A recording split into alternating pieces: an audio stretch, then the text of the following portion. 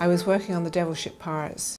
Don Sharp, lovely man. But on that ship that was built by the studio carpenters instead of shipbuilders, there was something not right with the ballast and the balancing of the ship. Everyone went to the one side of the ship to help up the ladies with the tea urn and the sandwiches. And because we all went onto this side of the ship, couldn't take us all on one side. It just fell over on its side. Everybody was thrown into the water. I slid across the deck and landed in a corner of the ship. And I remember all the rigging came down on top of me. Only person I could see was Christopher Lee, who managed to clamber up onto the end of the ship. He was hanging on there. He said, I can see all the pirates, all those stuntmen swimming for their lives, not helping anybody. He then just gave me this commentary, and eventually I was rescued, but I was afraid the boat would sink. And then I remember a funny story that a few days later, Tony Keys visiting us um, and saying that he'd had all these claims. He had to get an insurance claim. And everybody that day lost their wallets in the water. They lost their Parker pens. He said electricians don't carry Parker pens, but they all did that day. So they put in for Parker pens, and and that was quite amusing. How and the gold watches all they lost. It was a, a happy atmosphere down there because it really felt like filming in a house. So it helped. It wasn't like filming on a set. You somehow felt you were filming in a private house. So you, you know, you were living it. We can't stay here. We, we must leave this place now. Steady, darling. It's all right. It isn't. It isn't. Uh, come, sit down a moment. Charles. Charles, you, you mustn't go upstairs. You mustn't. He's only going to see if there's anyone at home. He'll only be gone a couple of minutes. I'll be back before you know it. Bray Studios were not at all, until you got into the actual sound stages, they were nothing like any studio that there has ever been, I don't think. Because it was simply a large country house on the river, and a beautiful one. So much of the work was done in the quadrangle outside it, whereas places like MGM and Pinewood are just huge sound stages with a man in a uniform letting you in, you know. They're just factories. It's pretty rough. We used to go there when we were students. Somebody always gets drunk and starts fighting. That sounds wonderful. There's a lovely saying, we're given memories so we can have roses in winter. And Christopher, Sir Christopher, and Peter Cushing are my roses in winter because working with both of them was wonderful. Christopher's great sense of humour and lovely singing voice, so we used to have Christopher singing round in the morning with the mist rising and the sound of the water outside, and the adorable Patrick Troughton playing his flute in the dressing room. They were wonderful memories of Hammer. Hammer fans obviously have a great deal of nostalgia for the films that Hammer made at Bray because really those were visually the most distinctive. They were uh, a body of work made at a particular studio and the majority of them looked gorgeous. But really, the people who were running Bray Studios, Hammer Films themselves, didn't have any particular nostalgic feelings for Bray. In fact, it rapidly, in the early 60s, seemed to them rather like a millstone around their necks because it was extremely expensive to run. But Bray had a kind of last hurrah in 65 and 66, brought on by, initially, Dracula Prince of Darkness and the three films that were made back to back with that film.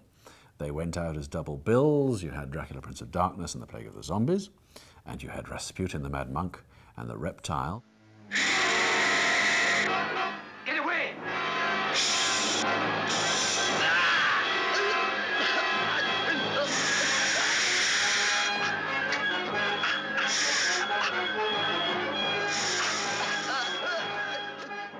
This very warm atmosphere and that great feeling when everybody is working towards the same end, which is the final product, the film itself, and wanting to make it good. They were good days. Hammer had been backpedaling a bit, they'd been treading water a bit, there'd been lots of censorship trouble. The censor had been really difficult with them in the early 60s. They'd cut The Curse of the Werewolf to bits. Their supremacy in the horror stakes was beginning to falter. However, with Dracula, Prince of Darkness, and the Plague of the Zombies, they got right back on top.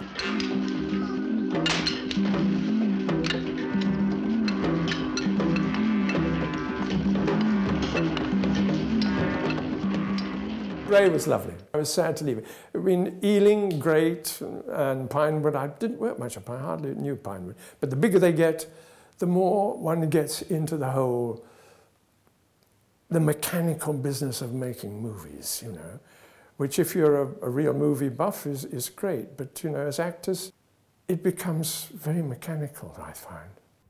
A car would come and pick me up every morning, which I thought was terribly grand at 21 and take me to the studio.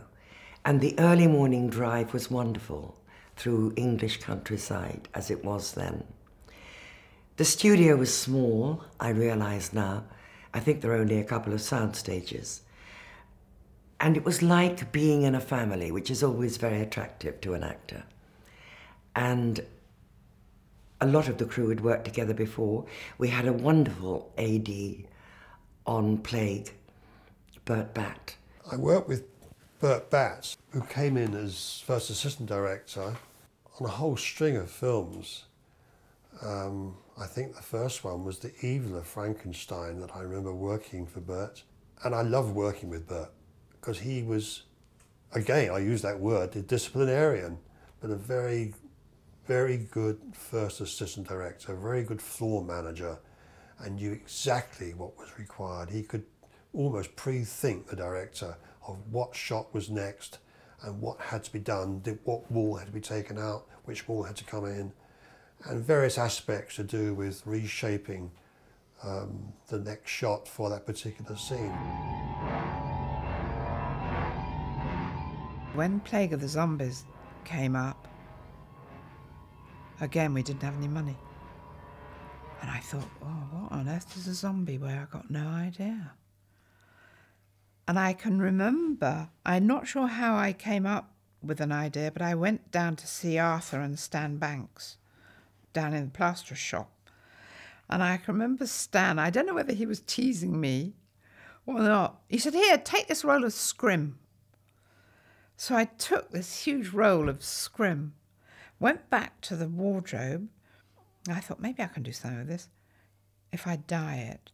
And I remember having to go see Tony Keys and saying, can I have a gas thing outside the frock shop and a bucket on the gas thing that I can put dye in and dye all this stuff? And he let me do it. And that's how I came about making those funny looking frocks with the scrim from the plaster shop.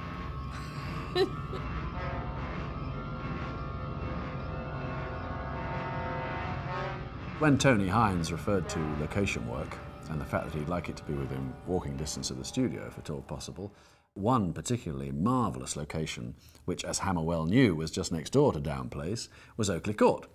They knew that well, of course, because they'd worked there themselves in the late 40s. Oakley Court was a fabulous Gothic looking house. What could be better, given that in 1956 they started making Gothic horror films?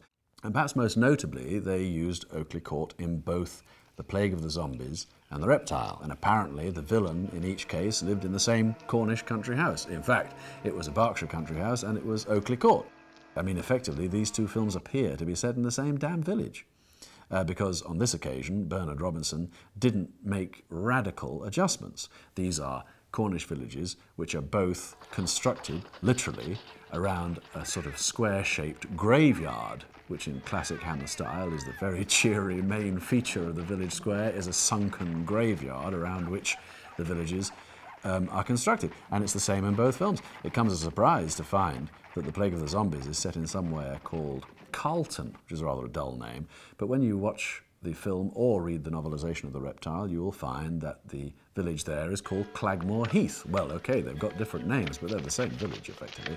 Very unfortunate village to have a plague of zombies on one occasion, and clearly very soon afterwards, um, a kind of poor girl who's been brought over from Borneo and turns periodically into a killer snake woman. Uh, but, uh, you know, these two horrors befell the same Cornish village, as far as we can tell.